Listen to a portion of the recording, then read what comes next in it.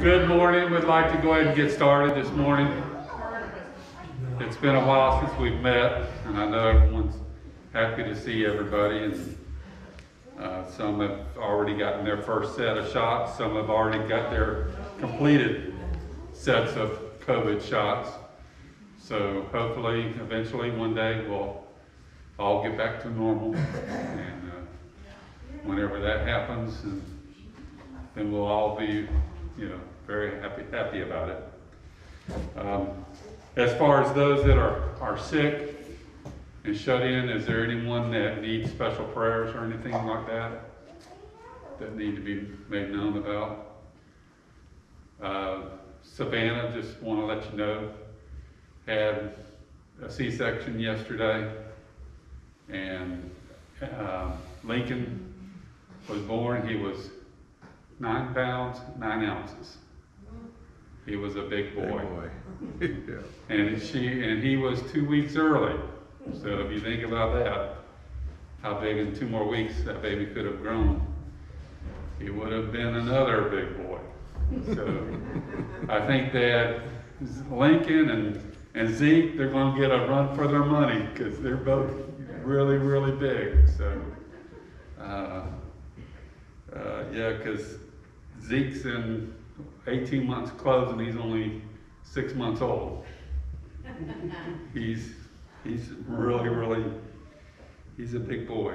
So we're glad they're all, all of them are doing well. They're in Dallas.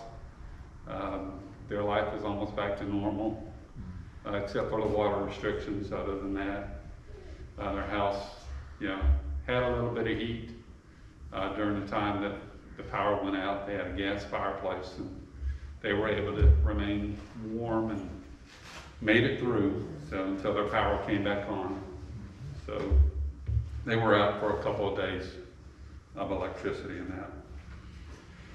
So with that being said, I want to read to you Psalm 1, 1. We'll start this all over again from the first book of Psalm. It says, Blessed is the man who walks not in the counsel of the ungodly, nor stands in the path of sinners, nor sits in the seat of the scornful, but his, his delight is is in the, the law of the Lord. And in his law he meditates day and night. He shall be like a tree planted by the rivers of water that brings forth its fruit in its season, whose leaf also shall not wither, and whatever he does shall prosper. The ungodly are not so, but are like the chaff which the wind drives away. Therefore, the ungodly shall not stand in the judgment, nor sinners in the congregation of the righteous. For the Lord knows the way of the righteous, but the way of the ungodly shall perish.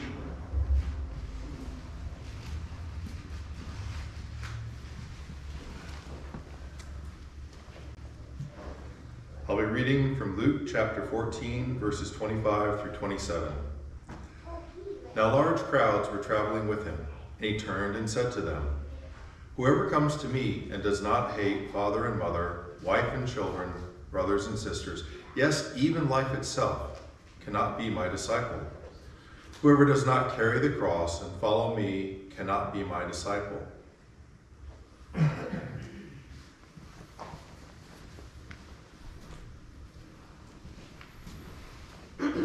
The reading of the psalm before our prayer this morning comes from Psalms chapter 2. The title of it is The Messiah's Triumph and Kingdom. Why do the nations rage and the people plot a vain thing? The kings of the earth set themselves, and the rules, rulers take counsel together against the Lord and against his anointed, saying, Let us break their bonds in pieces and cast away their cords from us. He who sits in the heavens shall laugh. The Lord shall hold them in derision. Then he shall speak to them in his wrath and distress them in his deep displeasure. Yet I have set my king on my holy hill of Zion. I will declare the decree. The Lord has said to me, You are my son. Today I have begotten you. Ask of me, and I will give you the nations for your inheritance, and the ends of the earth for your possession. You shall break them with a rod of iron. You shall dash them to pieces like a potter vessel. Now, therefore, be wise, O kings. Be instructed, you judges of the earth. Serve the Lord with fear and rejoice with trembling. Kiss the Son of God. Kiss the Son, lest he be angry. And you perish in the way, but his wrath is kindled but a little. Blessed are all those who put their trust in him.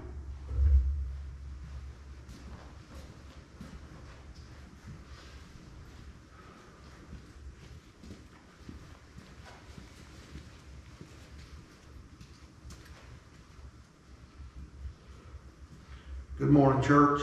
Morning. I'm so happy to see you all of you. I tell you, this, this, this COVID stuff is, uh, you know, it'll, it'll, it'll drive a, a sane man a little bit more nuts than he wants to be. But, uh, I think we're, we're getting better. And, uh, anyway, uh, I just wanted to say, you know, all of us, uh, that, you know, this, uh, these scriptures that Bob puts on Facebook, uh, one, one of the uh, lines that really got to me was, you know, it, it just kind of opened my eyes up. Um, the Bible is not a book of suggestions on how to worship and live. You know, it, it's it's kind of like that that word should and shall. You should do this, but if it says shall, you will do it. So uh, anyway, I, uh, th- those things like that just kind of, I, I really like reading them. Um, let us pray.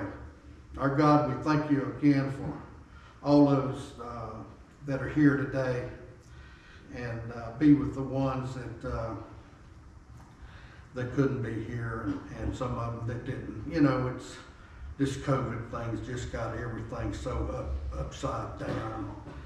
And uh, we thank you so much for our government that, uh, you know, the COVID shots, we're getting the COVID shots uh, to take care of us uh, here uh, in our country. And uh, we thank you so much for the rains that we've been getting. We've been, been getting rains on and off. And, uh, and we're so fortunate that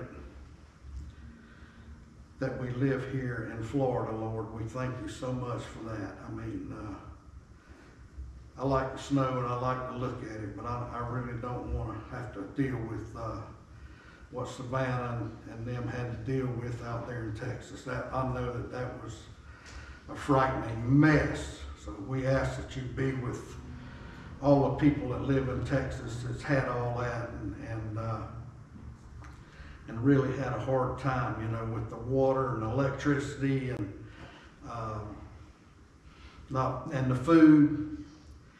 And, uh, it, it was just so bad. So we ask that you be with all them people and watch over them and, and, uh, all the government agencies and everything go out there to help them. Lord, we're so fortunate in this country that uh, that we do have a government that will help us. Uh, maybe not a hundred percent, but there's always something there, you know, that we can get something done. And uh, Lord, we ask that you uh, be with the leaders of our country. They watch out and, and uh, govern this country in a Christian manner, Lord. That uh, everything is uh, uh, just put out there to where we can understand it. And uh, some people, they, they don't they don't see it like Christians see it.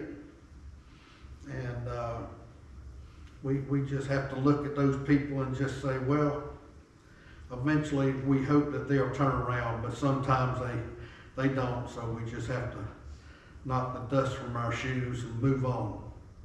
Lord, we thank you for all your blessings and please forgive us of our sins, Lord. And thank you for all the ones that are here today. In Christ's name, amen. amen. The reading before the Lord's table this morning comes from Psalms chapter 3. And the title of this is The Lord Helps His Troubled People. Reads, Lord, how they have increased who troubled me. Many are they who rise up against me. Many are they who say of me, There is no help for him and God. But you, O Lord, are a shield for me, my glory, and the one who lifts up my head. I cried to the Lord with my voice, and he heard me from his holy hill. Selah. I lay down and slept. I awoke, for the Lord sustained me. I will not be afraid of ten thousand of people who have set themselves against me all around. Arise, O Lord, save me, O my God, for you have struck all my enemies on the cheekbone. You have broken the teeth of the ungodly. Salvation belongs to the Lord. Your blessing is upon your people. Selah.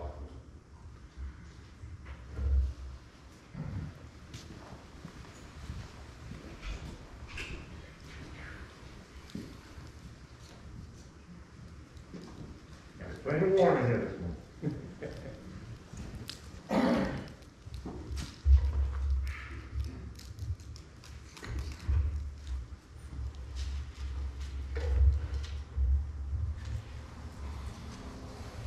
Before we take the Lord's Supper, I'd like to read from Titus in uh, chapter 3, beginning in verse 3. For we also once were foolish, uh, ourselves disobedient, deceived, enslaved to various lusts and pleasures, spending our life in malice and envy, hateful and hating one another. But when the kindness of God our Savior and his love for mankind appeared, he saved us, not on the basis of deeds which we have done in righteousness, but according to his mercy, by the washing of regeneration and renewing by the Holy Spirit, whom he poured out upon us richly through Jesus Christ our Savior. That being justified by his grace, we might be, be made heirs according to the hope of eternal life. This is a trustworthy statement, and concerning these things, I want you to speak confidently, so that those who believe God may be careful to encourage in good deeds. These things are good and profitable for men. And Jesus died for a reason, and God's in control, but the problem we face right now is that mankind has got to the point where they want to control everything, and they think they have control over everything. But all it takes is a little thing like a virus or some cold weather to bring us to our knees. And we realize who's really in control, who we really need to turn it all over to, who we really need to magnify and worship and give thanks to every day. God's gracious work. Um, salvation is God's gracious work, not a reward for man's worthwhile acts.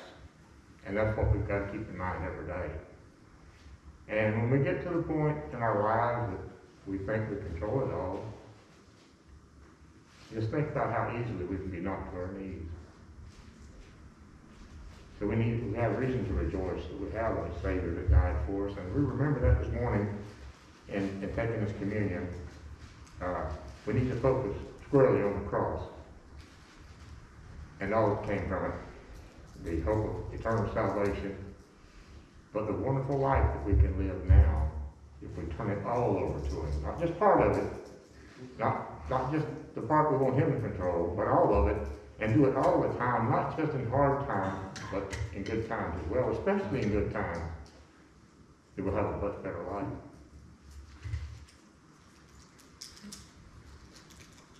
Okay, let's pray for the bread now.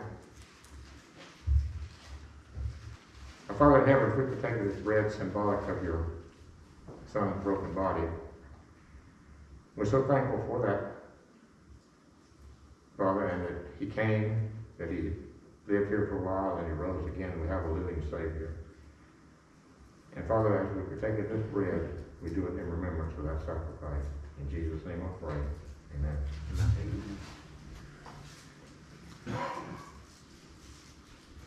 Amen.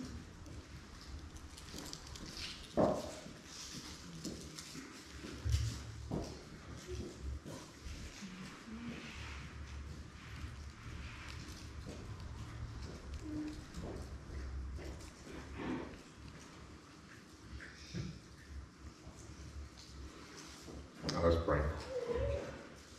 Likewise, Father, as we partake this fruit of the vine, symbolic of the blood that your Son shed upon the cross for the forgiveness of our sins, I pray that we do this in a manner that's pleasing to you. In Jesus' name I pray. Amen. Amen. There's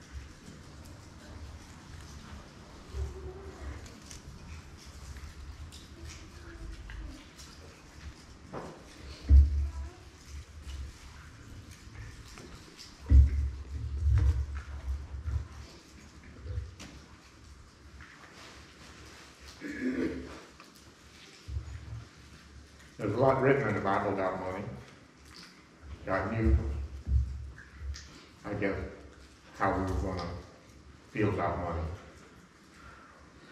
That sometimes people get to the point that they think the money is the answer for everything. Again, it doesn't take much till you realize that all the money you've got in the world won't help you sleep good at night won't relieve that nag that you have, that, that desire you have to, to, uh, feel better, even though you're in perfect health. So, uh, we do well here at this church in giving to, uh, the, uh, different organizations. If you have, um, the, I know the Children's Home in Valdosta right now, they're really, they're really struggling to keep their head afloat, but they're dedicated to the children they have there. If you, um, are apt to, you could send a donation to them. We send a monthly donation. We have been for quite some time, and they truly appreciate it. But, um, anyway, the, um, collection place in the back, we do still have bills to pay.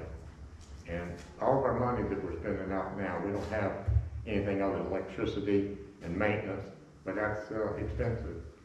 Uh, but we are supporting the missions and we've increased our mission giving and, uh, that's what we all need to do, not only at the church, but in our personal lives every day. There's a lot of things you have that you can share with other people. Just put something that uses, that's usable out by the road and see how quick somebody comes and gets it. What difference does it make what they do with it? If they have a yard sale with it, fine, you know, that, that- that's better for us. Um, so let's think about that, our giving and, and our giving off, how God, what He gave us in His Son, and what Jesus' attitude was about giving. Let's pray. Our Father in heaven, we're truly thankful for all the worldly pleasures you give us.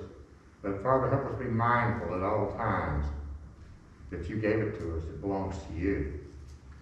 And that we should honor that by being willing to share it and care for other people to make life equal for all mankind. In Jesus' name I pray. Amen. Amen.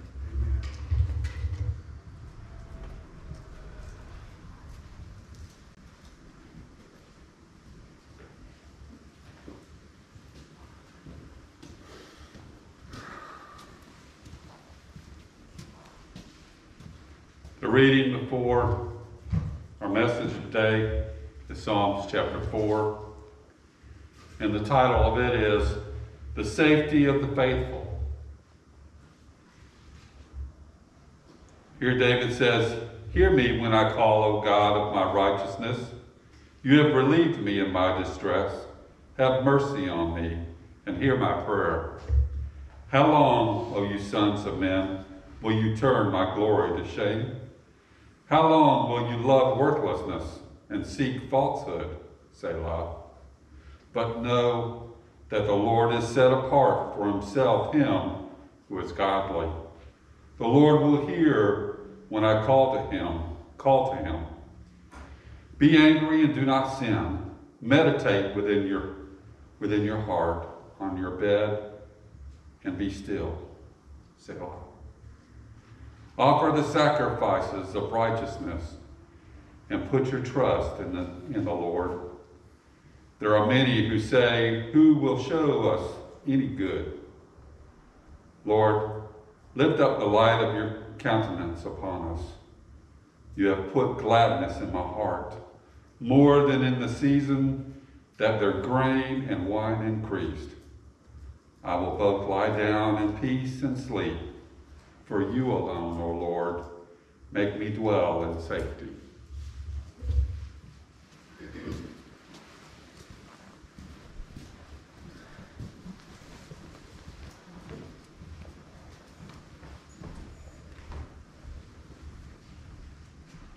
Well begun is half done. And if you know the book of Joshua, there's a little bit of a joke in there. Joshua chapter 12 is the middle of the book, and so we're half done.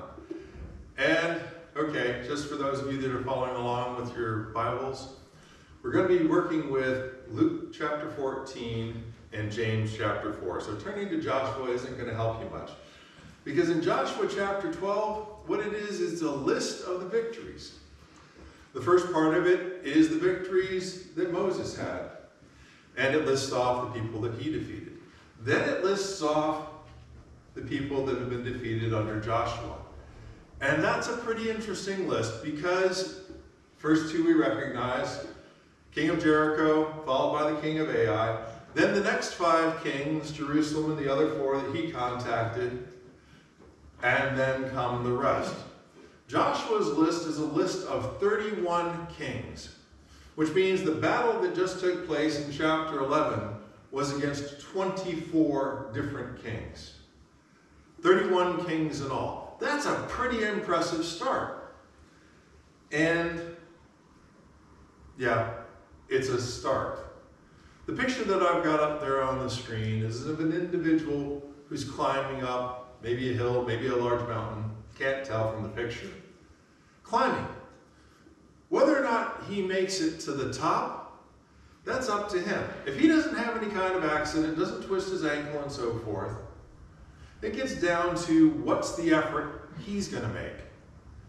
When we started out the beginning of Joshua, we were told God has given. It's not a matter of whether or not Israel has the ability. God tells them, I am giving you this land. We see it in the first 11 chapters. The one who gives the victory is God. Even when there's innumerable chariots and horses and so forth, 24 armies coming out against Israel, armies that are coming from the royal city, cities where every man is a warrior, they have victory. Why?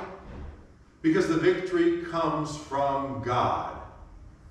If Israel's going to climb the mountain of defeating Canaan, it's going to be because, one, God has empowered them to do so. Two, they have the determination to follow through on what God has given. So let's jump forward, as I said, to Luke chapter 14, and this is the passage I already read.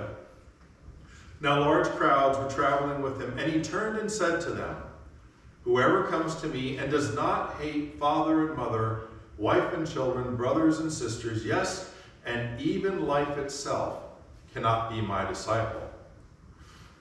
Whoever does not carry the cross and follow me cannot be my disciple. And that's a hard passage. Hard insofar as hate's a nasty word that we don't really feel comfortable with. I'm one of those I work with my kids and let them know whenever they'd say, I hate whatever, it's like, whoa, whoa, time out. Let's not go there because hate is a really strong word. You don't want to start off by saying, I hate an individual. Identify what you don't like that they've done. You can hate somebody who is violent. I mean, when I say, oh, okay, that's, I just blew it. You can hate the violence that they do. But do yourself a favor and don't address the hate at the person. Identify the action. That way it's easier to love the sinner and hate the sin. But as I said, it's a complicated passage unless, unless we break it down, and the NRSV, in my opinion, does one of the better jobs at translating this passage. Because it says life itself and the cross. When it comes to life itself, how much control do we really have over life? Not talking about death, but life. Oh, well, if you eat these certain foods, you'll live five years longer. Is it really that we live five years longer? Or is it that when we eat bad food, we die sooner? If you exercise more, oh, you'll add another seven years to your life. Is it that we're adding to our life? Or is it that by being lazy, we're really taking away from the life we could have had? The truth is, we can't add life. That's not within our scope of being.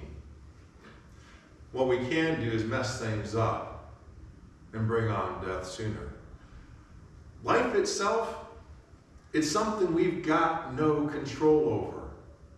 And trying to hold on to it, how well can you hold on to it? Can you hold on to it to the point death never comes? No. So, trying to hold on to life, trying to love it as though you possess it and control it, no, that's just lying to ourselves. But the more important part of this, and this is what helps give the context the cross. The possessive that gets applied in most translations is a slippery possessive that probably isn't there. The cross. And think about it. When Christ went to the cross, was it his cross? Did he die for himself? Or was he dying for us?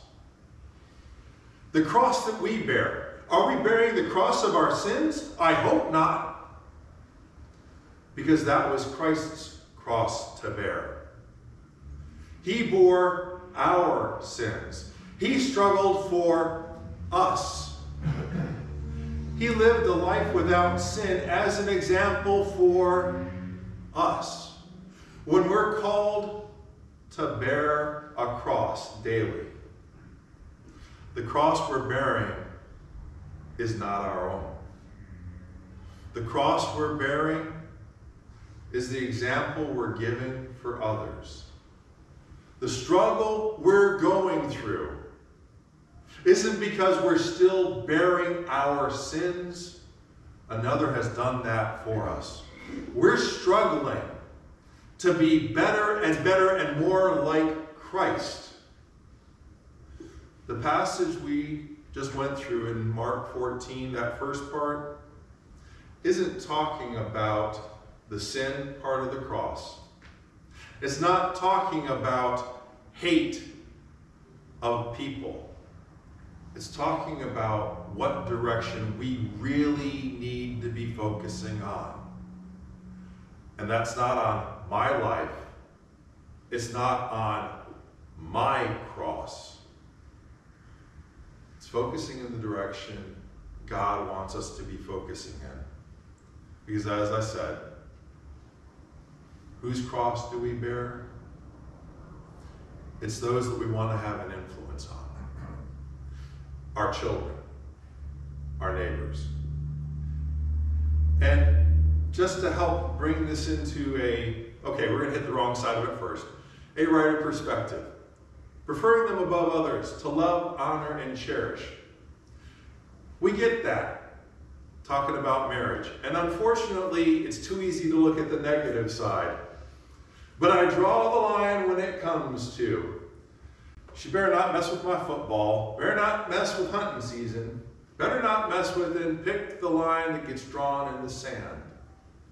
And it's a messed up line. Because essentially what we're saying at that point in time is, well, I'm married, but this other issue comes first. What we just read about is telling us, you know what? There better be no issue coming first when it comes to God. God comes first. If your wife is on the highway to hell and is not going to get off, it doesn't mean you join her on the highway to hell. If your children are cruising down that direction, to win them back doesn't mean you hop in the buggy and cruise on down that road with them. The right example is what's going to lead them in the right direction, not making them feel comfortable about the wrong. The decisions we make aren't going to be easy. It's going to be a struggle sometimes because sometimes you're going to want to make them feel more comfortable. It isn't that bad. No, sin is sin. We don't need to coddle it. We don't need to make them feel comfortable about the sin itself. We do need to make sure they understand our love and commitment to them. It's a commitment to them because we're committed to God. We're committed to work out that relationship in a godly way. We need to be careful how we approach it because, like I said at the beginning, well begun is only half done. We got to be there for the long haul. And we find that in Luke 14 28 through 33. For which of you, intending to build a tower, does not first sit down and estimate the cost to see whether he has enough to complete it? Otherwise, when he has laid a foundation and is not able to finish, all who see it will begin to ridicule him, saying, This fellow began to build and was not able to finish. Or what king going out to wage war against another king will not sit down first and consider whether he is able with 10,000 to oppose the one who comes against him with 20,000? If he cannot, then while the other is still far away, he sends a delegation and asks for the terms of peace. So therefore, none of you can go, I'm sorry, none of you can become my disciple if you do not give up all your possessions. When Israel went into the promised land, how much of it was God holding back? None of it. I'm giving it. So, what was holding Israel back? They began with 31 victories, 31 impressive victories. The armies of the royal cities have been taken out. I believe there's three, maybe four royal cities that are actually still functional because their population was that big. Sure, send off the army. We're still two thirds of the people still there. So they're going to have to take out those cities with their armies already decimated. They won because of God. If they're going to be held back, it's because they're holding back from God because they're holding on to what they brought out of Egypt. If we want to succeed with our spouses, succeed with our children, when there is a problem that we face, we can't hold ourselves back by hanging on to problem issues if we want to succeed with them where it counts. We've got to recognize whose plan's best. Is it mine or is it God's? I think everybody knows right now, Rich, you're mostly clueless half the time, so definitely not your plan. God's plan is going to be the plan that wins out. You got to remember, we had the promised land. It was given by God. Christianity. How much of that battle do we still have to win before Christianity is a given win? None of it. Christ has already won it for us at Calvary's cross. Think about marriage. How did that begin and where did that begin? All of these start off with best intentions. When they went into the promised land, they went with the idea, yeah, we're going to win it. When we get started in Christianity, we begin with the idea, yeah, I'm going to make it. When we go into marriage, we're making a commitment saying, you, me, forever. This is going to happen. We start off with a really right intention. But what happens? And we've already been going over that what happens part. When we let other things get in the way, and notice how I said that, when we let other things get in the way. Sure, things like COVID are going to come up. We're going to have accidents where the deer jumps out in front of the vehicle and mangles it vehicle's gone for a while. We're going to have things that happen that make the road rough. Who has enabled? God. If God has enabled, if God's the one who desires it to end well, who can prevent God's end? The ones who still have the choices. Because God's not made us automatons. God is not forcing the victory down our throats.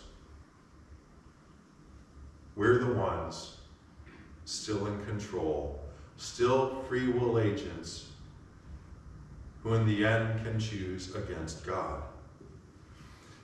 James chapter 4, beginning with verse 1, reads Those conflicts and disputes among you, where do they come from? Do they not come from your cravings that are at war within you? You want something and do not have it, so you commit murder. And you covet something and cannot obtain it, so you engage in disputes and conflicts. You do not have because you do not ask. You ask and do not receive because you ask wrongly in order to spend what you get on your pleasures.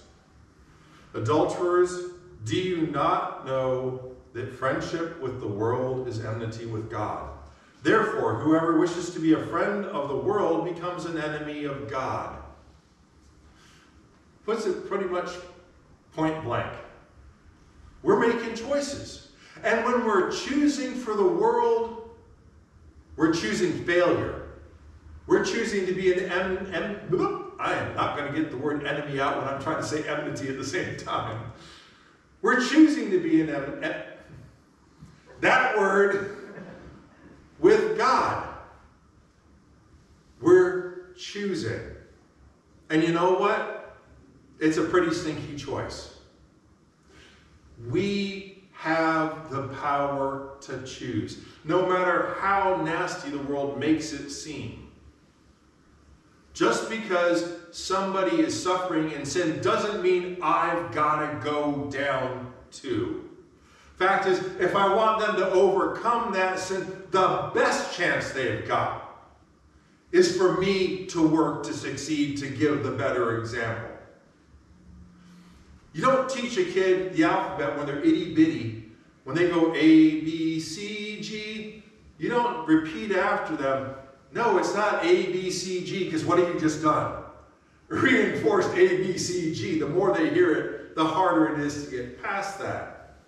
You say, wait a second, A, B, C, D. You tell them the right thing. Because the quickest way to teach them is to teach them right. The hardest way to teach them is to try to show them all the wrong ways are wrong. The best way to help out someone caught up in sin is to give them that right example. He's talking to us on two different levels here in James. He's talking to us about first, what is holding us back?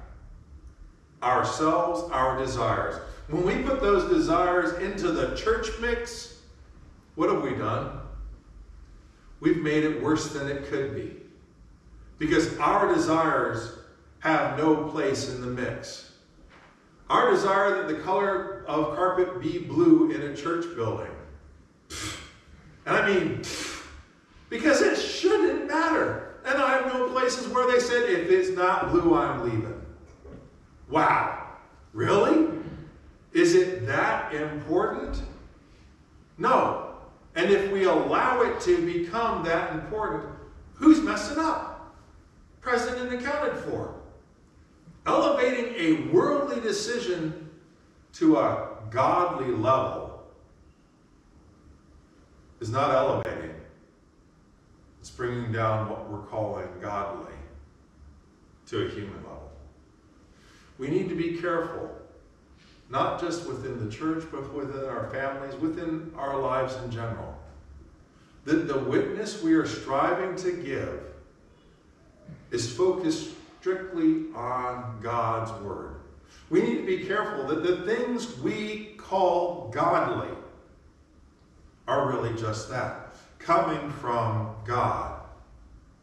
And if it's not, we need to make sure we're framing it that way. My preference is for blue. I'm not going to be a happy camper if it's not blue, but if everybody else decides green is the way to go, okay, I'll live with it.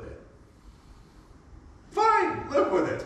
I'm colorblind, I can care less what colors are. I'm the guy that walks out in scary outfits if Vicky doesn't see it before I get out the front door.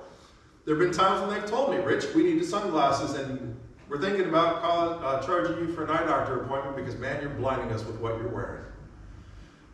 How was I to know shrimp, yellow, orange, and I forgot what other colors I had on were not an acceptable com- combination? It was on a shirt, it was on shorts, I was good. They weren't. It didn't matter. How many songs we sing before communion? It doesn't matter. That we're reading instead of singing songs. It doesn't matter. It says, each of you. It's not just the time we come when we're reading, when we're praying. It's the time we come together. Are we encouraging one another?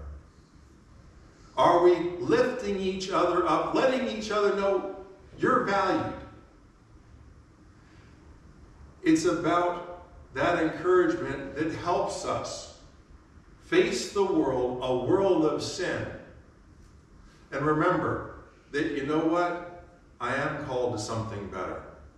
The people that make me feel good about that calling are the people I want to be spending time with.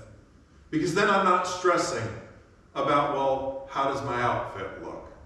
I'm not stressing about, oh boy, did I just blow it politically, job wise right now. There is a reason God has given. And that's an important thing to remember. Because all that what's happened, whether it be marriage, whether it be Christianity, whether it be the promised land, it all boiled down to when we let or left something in that didn't belong. Or we didn't do something we should have done, such as make sure that I actually plugged in the power supply to my laptop that has just told me you're about to lose it all. God gave us the answer. It's in his book. His answer begins with his son, the sacrifice that he made to make it all possible for us to overcome.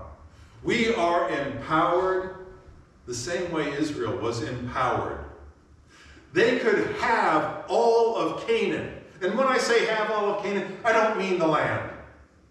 I mean, they could have been there with their kids, with their grandkids, with their great grandkids, living in the promised land.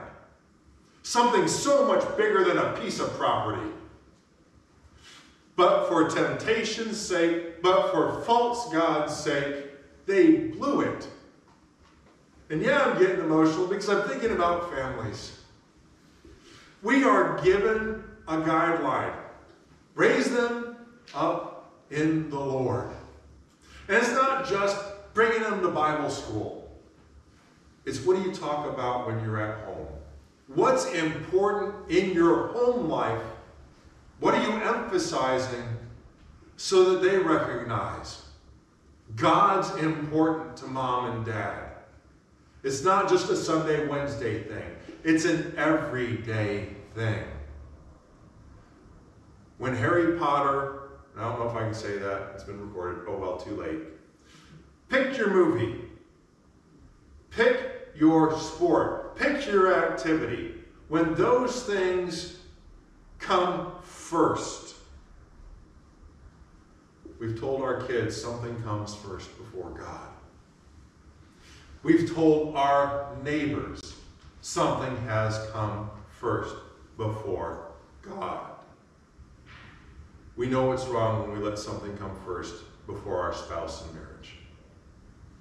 It's laying the groundwork for divorce. We know from Scripture why Israel failed. Because they left stuff in, or they left out the good they were supposed to do. God made a way through his Son. God gave us a way through Scripture to know how to be better parents, better husbands, and wives. If we set it down and only pick it up Sunday morning and Wednesday night, we're setting up the groundwork for failure. Scary statistic most Christians have never bothered to read the whole book. Most Christians don't read the book regularly. How can we live by this standard if we don't know it? The call to God through his Son was one of love. The call we have to give to others is on the same terms. In love, through the sacrifice Christ made. It's the difference we should have in our lives. But it's a choice. Well begun is only half done. The beginning begins with baptism. When we turn our lives over and take on Christ as our Lord and Savior. That's the beginning. That's half done. What we continue to do from that point forward is what continues to make the difference. If we're striving to live Christ like lives based on His words, we're going to finish strong. It's not just finishing strong for myself. It's finishing strong for Vicky. It's finishing strong for Tyler, Matthew, and Sierra. It's finishing strong for the people I work with, the students I've encountered. Because you don't know when you're going to encounter a student from Zimbabwe who says, well, we can't do Christianity over there because it's a white supremacist religion that's designed to oppress people of color. I haven't been able to really look into Christianity until I came to the States. Okay, let's talk. Those opportunities are opportunities placed in our life by God to act, not to let them just pass us by. Every day we have a choice. We have the choice first to begin with Christ, and every day we have the choice to go forward. If you need the prayers of the church, more than welcome to stand as the scripture is read. Psalm chapter 5. The Title of, of that chapter is A Prayer for Guidance. And And it also kind of really gives heed to everything that we do. It says, Give ear to my words, O Lord, consider my meditation. Give heed to the voice of my cry, my King and my God. For you I will pray. My voice you shall hear in the morning, O Lord. In the morning I will direct it to you, and I will look up, for you are not a God who takes pleasure in wickedness, nor shall evil dwell with you. The boastful shall not stand in your sight. You hate all workers of iniquity. You shall destroy those who speak falsehood. The Lord abhors the bloodthirsty and the deceitful man. But as for me, I will come into your house in the multitude of your mercy. In, in fear of you, I will worship toward your holy temple. Lead me, O Lord, in your righteousness because of my enemies. Make your way straight before my face, for there is no faithfulness in their mouth. Their inward part is dis- destruction, their throat is an open tomb. They flatter with their tongue. Pronounce them guilty, O God. Let them fall by their own counsels. Cast them out in the multitude of their transgressions, for they have rebelled against you. But let all those rejoice who put their trust in you. Let them ever shout for joy because you defend them. Let those who love your name be joyful in you, for you, O Lord, will bless the righteous.